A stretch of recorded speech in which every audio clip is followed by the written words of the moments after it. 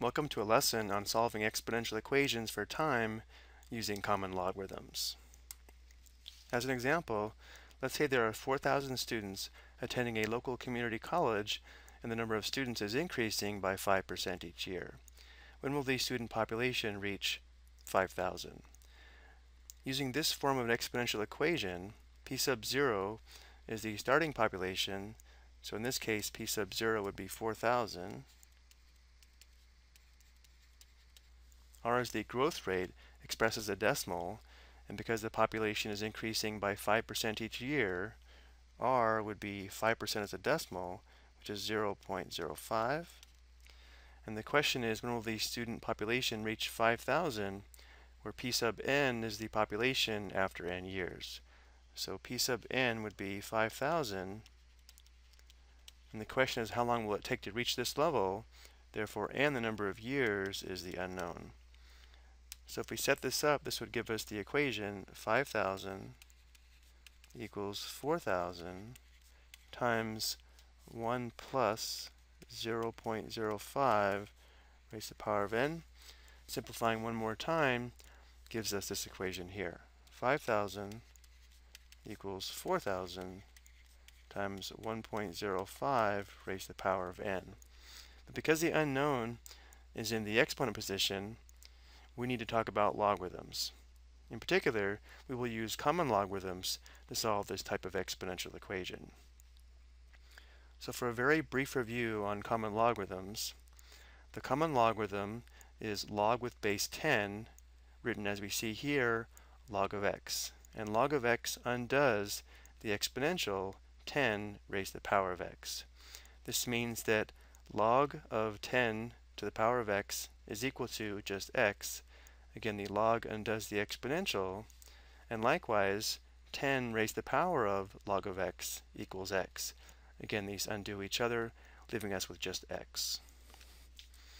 It's also true that 10 raised to the power of a equals b in exponential form is equivalent to log of b equals a in logarithmic form.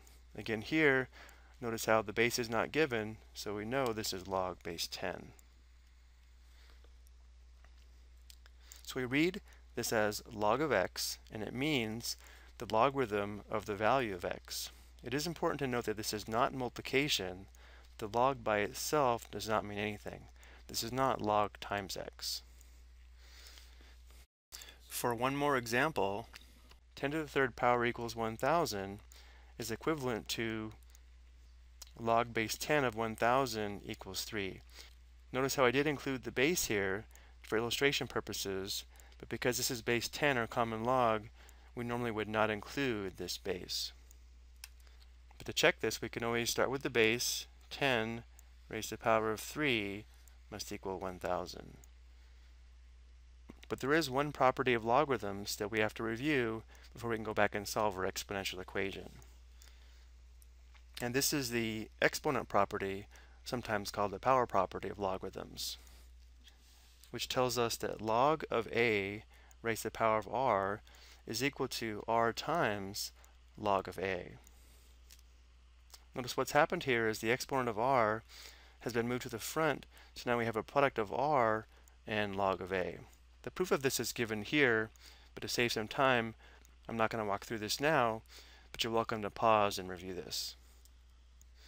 Now that we've reviewed common logs and our exponent property of logs, let's review the steps on solving exponential equations using logs, and then we'll go back to our example. Step 1, we want to isolate the exponential part of the equation. Step 2, we'll take the log of both sides of the equation. Step 3, we'll use the exponent property of logs to write the exponential with the variable exponent multiplying the logarithm and then 4 we'll divide as needed to solve for the variable. So going back to our example, we want to begin by isolating the exponential part, which is 1.05 raised to the power of n. So for our first step, we'll divide both sides by 4,000. So this will simplify to 1. On the left we have 5,000 divided by 4,000, which would simplify to 5 fourths. So we have 5 fourths equals 1.05 raised to the power of n. Now that we have the exponential part isolated, we'll now take the log of both sides of the equation. So we take the log of the right and the log of the left.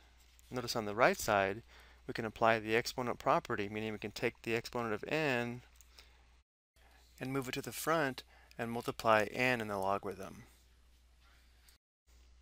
So now we have log 5 fourths equals n times log of 1.05. Now because we have a product here, we can solve for n by dividing both sides by a log of 1.05.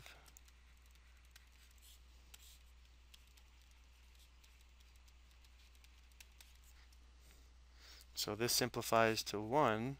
So now we have just n on the right. On the left, we go to the calculator to approximate this quotient. So we have log 5 fourths, or 5 divided by 4, close parenthesis, divided by log 1.05, close parenthesis, and enter. If we round to two decimal places, or the hundredths place value, we can say n is approximately 4.57 years.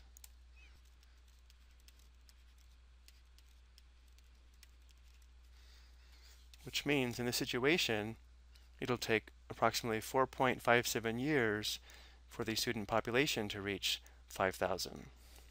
Let's take a look at a second example. Inflation causes things to cost more and for our money to buy less. Suppose inflation decreases the value of money by 2% each year. In other words, if you have $1 this year, next year it will only be worth 98 cents. How much will $100 buy you in 15 years?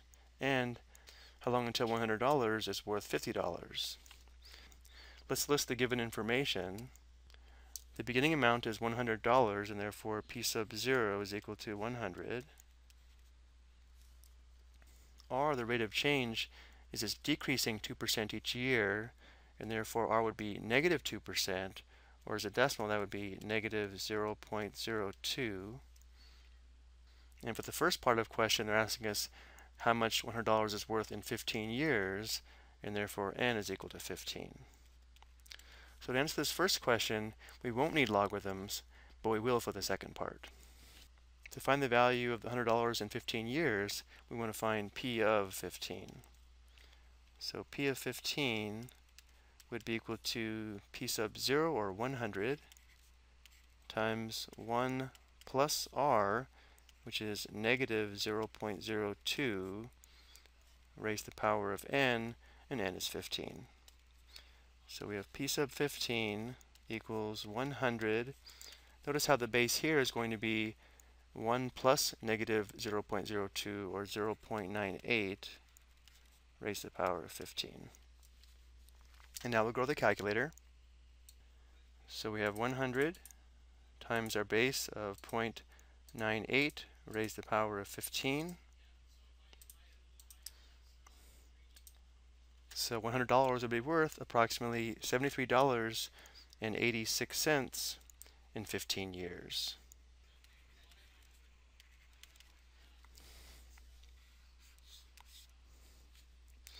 Now we'll have to use a second setup to determine how long until $100 is worth $50.